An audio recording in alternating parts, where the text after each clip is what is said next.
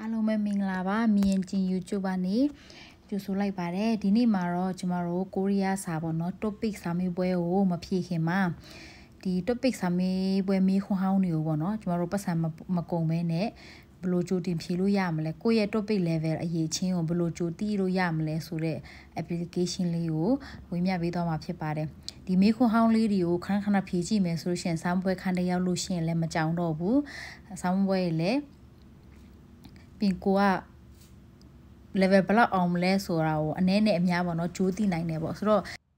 Play Store သွားပြီးတော့ topic လို့ရေးလိုက်ပါအမှပေါ်လာလိုက်မယ် download လို့ရှိရင် application တွေအများကြီးရှိတယ်အဲ့ထက်ဒီအပေါ်နှစ်ခုကိုစမ်းကြည့်ရတော့မစိုးပါဘူးဒါကြောင့်ဒီနှစ်ခုကို download ကြည့်လိုက်ပါ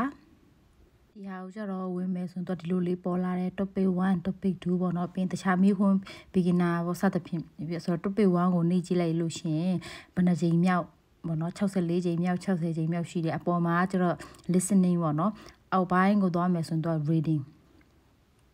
အလိုပြထားတယ် reading ထဲကိုတစ်ခါလောက်ကြည့်အောင်เนาะကြည့်လို့ရှိရင်အပေါ်အပေါင်းလေးကိုနှိပ်လိုက်နှိပ်လို့ရှိရင်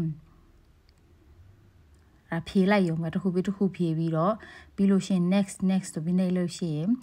မှန်လို့ရှိရင်တော့အစိမ်းရောင်ပေါ်လိုက်မယ်မားလို့ရှိရင်တော့အနီရောင်ပေါ်လိုက်မယ်ပြီးအားလုံးပြီးတဲ့အခါမှာ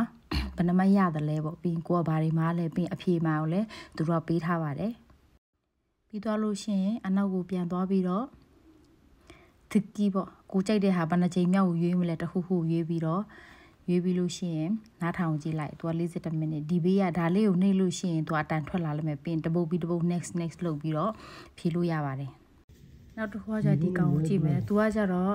ပိုရှင်းလင်းတယ်ပေါ့နော် topic 1 topic 2ရှိတယ်သူလည်း listening ရှိမယ် reading ရှိမယ်ပေါ့နော်ဘယ်နှချိန်မြောက်သူကပြထားတယ်အဲ့ထဲမှာကိုကြိုက်တဲ့ဟာတစ်ခုဒီမှာ reading ကိုကြည့်မယ်ဆိုရင် तू က